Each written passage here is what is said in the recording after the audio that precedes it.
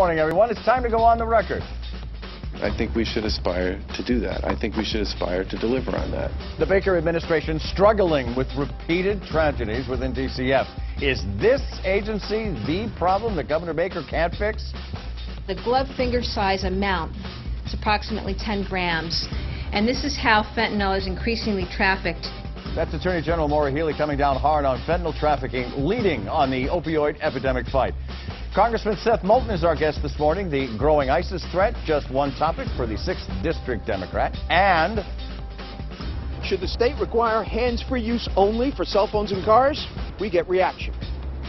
From WCVB Boston, the inside word from Washington to Beacon Hill. Today's newsmakers are going on the record. Good morning, everyone. I'm Ed Harding, along with News Center 5's political reporter Janet Wu. Thank you for joining us this morning on the record. Our guest is Seth Moulton. He is of the North Shore, the 6th District, the 6th Congressional District. He is with us this morning from Iran to ISIS to the papal visit. There is a lot to discuss this morning. Congressman, great to have you with us as always. Thank you, sir. Great Janet, to be back. You lead So on. there is a massive drug problem in Massachusetts right now, as you saw earlier this um, um, just a few minutes ago, uh, the Attorney General referencing it.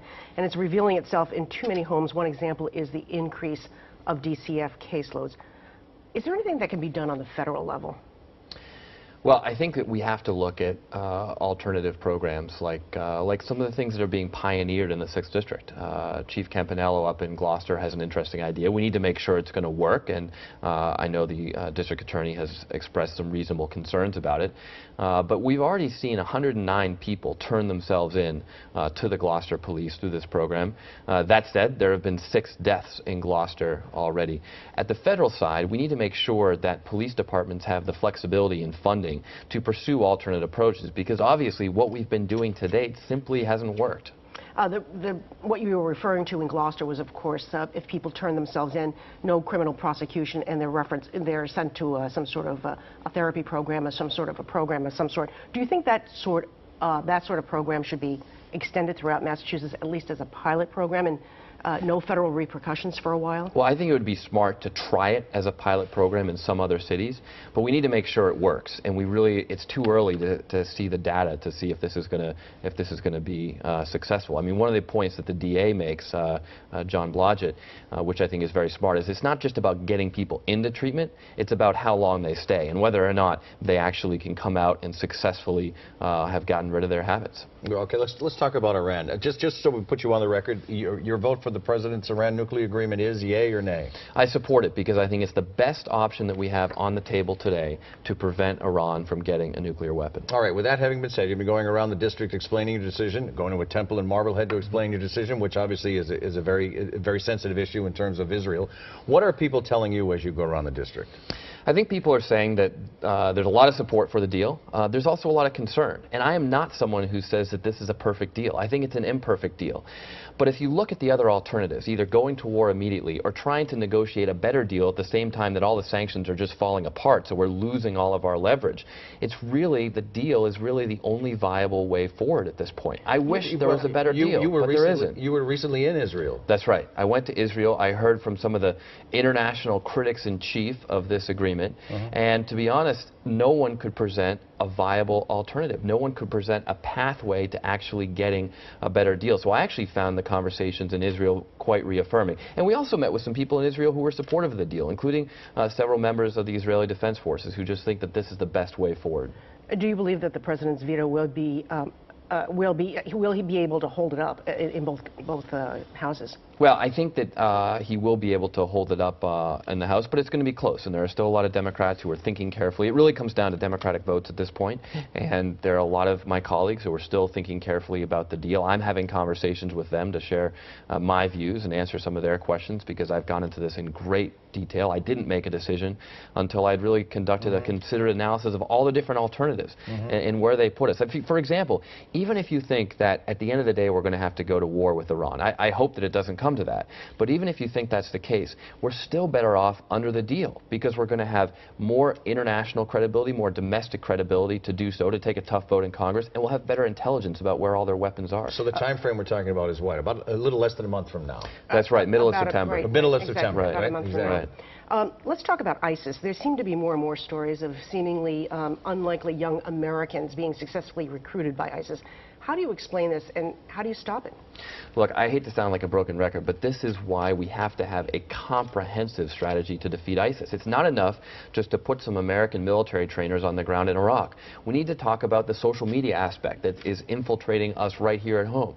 We need to talk about a political and diplomatic solution for Iraq where ISIS has blossomed uh, in the absence of a strong Iraqi government. And you know what? If the fundamental problem in Iraq is that Iraqi politics fell apart, that's why the army fell apart, and that's why ISIS has been able to expand in Iraq, you don't fix Iraqi politics by training Iraqi troops. Let, let me ask you very specifically. We know that ISIS is using nerve gas that was originally from Syria. Is there anything the United States could slash should be doing now that it's that it's not doing now that, that, that could perhaps stop this? One of the things I heard on my trip to Israel, and I heard this on when I went to Iraq and Afghanistan and other states in the Middle East, is that people are still looking for American leadership. Now that doesn't mean American troops on the ground, but we've got to provide a strategic vision for where things are going in the Middle East and how we're going to defeat ISIS. I like the fact that Jordan and UAE are conducting airstrikes against ISIS, so it's not just American planes or American troops. But they still need our strategic vision, and that's why I've been pressing the administration, pressing the president to come up with a serious, comprehensive plan to defeat ISIS and not just send a few more troops into Iraq. Uh, Pope Francis is uh, going to Washington. Uh, well, he's coming to the United States next month, and he's going to be speaking to Congress. This is going to be sort of a historic event. Do you think it's appropriate? Because there are some people that are saying that perhaps it's not the right thing for him to be doing. No, I do think it's appropriate because he is a world leader that millions of people respect. In fact, he has more influence than many uh, leaders of nations around the globe. So it's important that Congress uh, hear his views, and I'm looking forward to, to, to welcoming him to Washington. And you're allowed one guest and to bring into, and who, who's your who's your guest? The guest that I invited uh, was the priest who was with my company uh, in the Najaf cemetery in Iraq in 2004. It was a brutal battle. Uh, there were Marines getting wounded and, and, and killed left and right, and fearlessly he walked among our positions. He had no uh, no regard for his own safety, uh, but took care of me and my fellow Marines. He was a true hero of that battle, and it's an honor to invite him to join me. Good choice, and also it avoids the argument between mom and dad, doesn't it? That's right. That's Wait, what's his name? What's his name? Uh, Father Paul Shaughnessy. Thank you. I and he's originally from Worcester. I wanted to get there. and they- he's got a great Worcester Yeah. accent. So uh, I hope he comes. He hasn't accepted yet. Uh, he's actually currently stationed in, a, in Amman, Jordan, uh, doing the Lord's work Mm-hmm. overseas. And so we've got to see if he can come home. But I certainly would be honored to have him. You ready for the OTR pop quiz? All right, Is here we one go. ever ready for the OTR Pop Quiz? Question one. For the first time in 54 years, the Stars and Stripes is flying over the U.S. Embassy in Havana. When did Secretary of State John Kerry say the U.S.-Cuba talks on full normalization will begin? When will the talks on full normalization begin? Uh, to be perfectly honest, this happened when I was in Israel, and I and I don't know. I don't know what he said. Just about a month from now, early to mid-September Okay. is, is the time frame that he presented. Question two. Which prominent GOP presidential candidate called Kerry's visit to Cuba, and I'm quoting here, a birthday present for Fidel Castro, a symbol of the Obama administration's acquiescence to this ruthless legacy? You know, I didn't hear that uh, that either. Uh, I'd have to guess uh, Donald Trump because he seems to get the, the best quotes in the news You're, these you're- days. you're in the right party, but it's Jeb Bush. Jeb Bush, is that John- right? Okay. Yeah, he, Marco Rubio, the son of an anti-Castro Cuban immigrant, is also very critical as well. We continue on the record with Seth Moulton. Stay with us.